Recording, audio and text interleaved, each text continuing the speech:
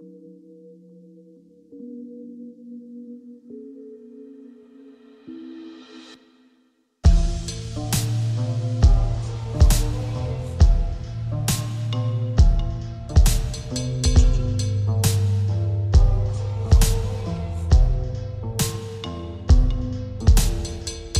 inventory of his life, seeing snapshots chronologically in line.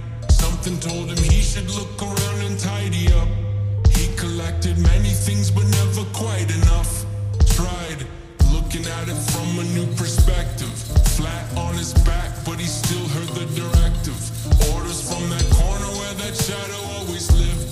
Never asked permission, he just hopes that they forgive.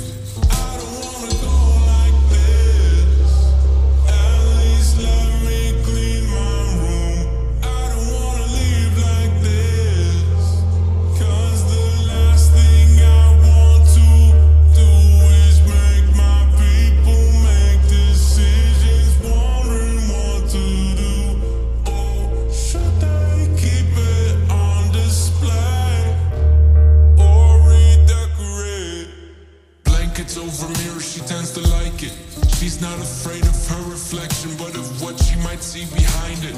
She had plans to change her name, yeah, just not the traditional way.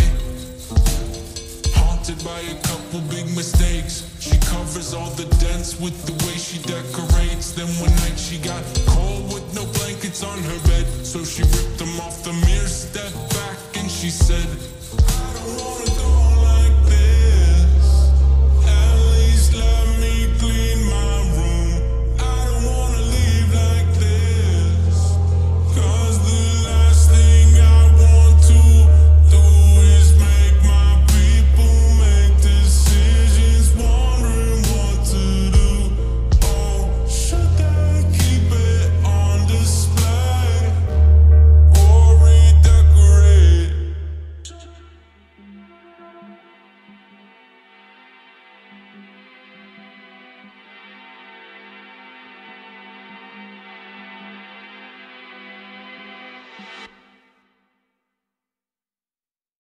With the bells and the whistles scaled back like an isolated track, and he feels trapped when he's not inebriated. Fair to say he's fairly sedated. Most days of the week he might have made it if he lived on a different street. I repeat, scaled back and isolated.